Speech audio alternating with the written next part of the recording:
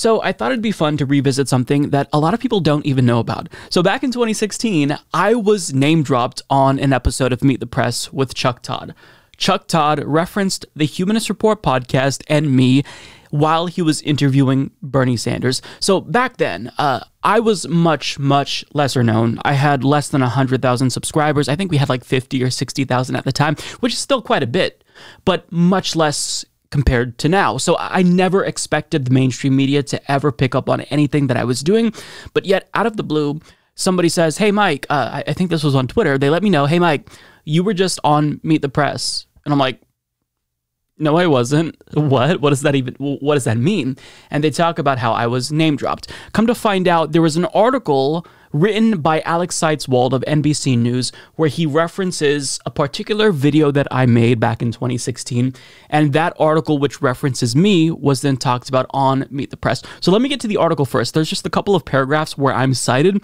And then afterwards, we'll watch the clip. And I want to tell you my thoughts on this because honestly, I know it might seem weird, but this made me a lot more cynical about politics. And I'll explain to you my reasoning. So this is what Alex Seitz-Wald wrote about me. Other progressives have been even more critical. Mike Figueredo, host of the Progressive Humanist Report podcast, tore into the Senator Bernie Sanders for abandoning Canova. Quote, I can't rationalize this. I can't defend you here, Bernie. This is indefensible, he said Saturday. The fact that you're ditching him and obviously distancing yourself from him for some reason, but yet are going to campaign for Hillary Clinton is absurd to me. Bernie Sanders, you are supposed to be the shining example. If you sell out, we're fucked, he said. Now, Chuck Todd brings up this article and he gives you some additional context. Um, I remember him really butchering my name, but watching it again, he actually did okay. But uh, take a look uh, and take a look at Bernie's reaction to uh, this article where they quote me criticizing Bernie Sanders. You know, Senator, one of your supporters, uh, uh Mike uh, Figueredo, uh, hosts a progressive uh, called Humanist Report podcast, and he was really upset at you personally because he actually thought you abandoned Mr. Canova. He thought, where were you? You didn't campaign for him.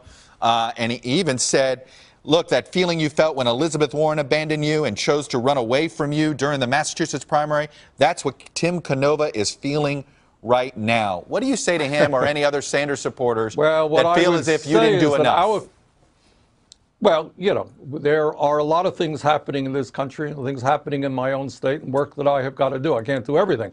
But I would say that uh, our supporters, as I understand it, contributed about $600,000 uh, to Mr. Canova's campaign. Uh, that is a very significant contribution. Uh, I think what you are going to be seeing uh, in the weeks and months to come, uh, Chuck, is me playing an active role, not only trying to make sure that Donald Trump does not become president of the United States, uh, but that in fact we create a movement for this campaign and for the future, which creates a mm-hmm. government in which our government responds to the needs not of the Koch brothers right. and wealthy campaign contributors, but to ordinary people. It's so cringeworthy to watch that, if I'm being perfectly honest, because things have changed so much since you know I, I made that video that they were talking about.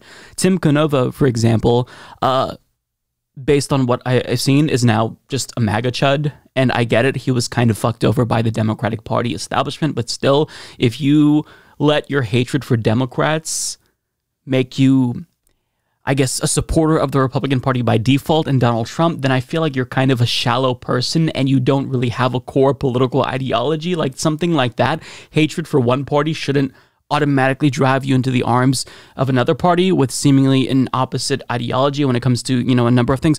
Uh, but either way, so that made me cynical because I thought, listen, I'm this small YouTuber at the time, and I thought that all the shit that I was talking, I, I, mean, I was just farting in the wind. Nobody in mainstream media would be able to smell it. But around that time, I also found out that I think it was Joy-Ann Reid was tweeting about me. And I don't remember what she said. I couldn't find the tweet, but it was about how like I was a litmus tester or something with Medicare for all and how I was unreasonable and I wouldn't accept any politician that didn't support Medicare for all.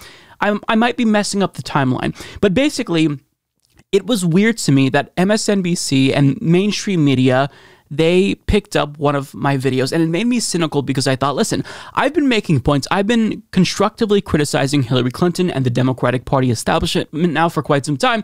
And yet, the only time I am cited on mainstream media is when they conveniently want to construct this narrative about how Bernie Sanders is bad and progressives, even they hate Bernie Sanders now. And to me, I thought that that was just so nefarious.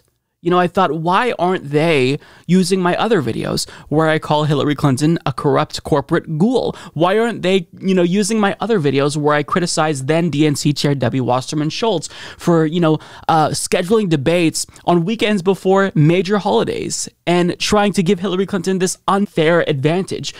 You know, it just, it made me realize, okay, no matter how small you are, these assholes are, they're watching and they're waiting to use you to help serve their narrative. So at that point in time, it made me cynical, but also a lot more astute. And I realized at that point, I have to be a lot more nuanced and um, really not let them do that. When I do a video where I'm criticizing a progressive figure, I have to add lots of caveats, right? I have to draw comparisons between them and the standard corporate Democrat.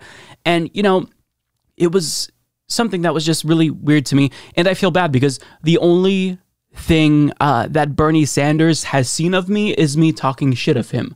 So all around, you know, you would think that, oh wow, I, have made it. Like they referenced me on uh, MSNBC. I guess my opinion is somewhat important, right? But I didn't feel that way. Like I, I felt like these motherfuckers are using me to criticize Bernie Sanders, and I was being critical of Bernie Sanders, and I didn't like that. You know, he wasn't going to bat for Tim Canova, who at the time was running against Debbie Wasserman Schultz, who at the time was ostensibly progressive. So, you know, I still am of the belief that if you are a lawmaker and you have a lot of influence, you should be trying to help progressives get elected. But, you know, it's still very strange to, you know, see the one time where I like criticize Bernie, that's when they, they bring it to his attention. So all around really awkward and honestly cringeworthy revisiting this. But I, I thought I would talk about this because Farron Cousins, shout out to him, he posted an outtake where he messed up Chuck Todd's name and he said uh, Tuck Chod or something like that. And it reminded me of the time where I thought that Chuck Todd fucked up my name where he name dropped me on Meet the Press. Although watching it again, he really didn't do that bad. So I don't know why I misremembered that so much. But either way, Chuck Todd name dropped me on Meet the Press back in 2016, and it kind of left a bad taste in my mouth. I was a little bit triggered by that, to be honest. The Humanist Report is fake news. Mike only cares about Crazy Bernie and his wacky socialist ideas. Sad, very sad. I'm unsubscribing.